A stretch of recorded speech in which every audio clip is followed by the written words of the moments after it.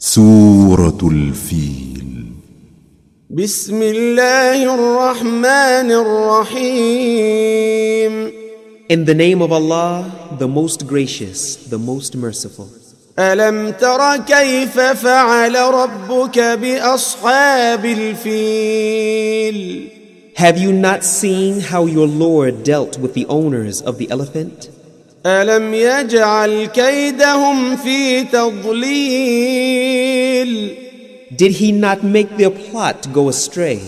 وأرسل عليهم طيرا أبابيل And he sent against them birds in flocks, ترميهم بحجارة من سجيل striking them with stones of baked clay, فجعلهم كعصف مأكول and he made them like an empty field of stalks of which corn has been eaten.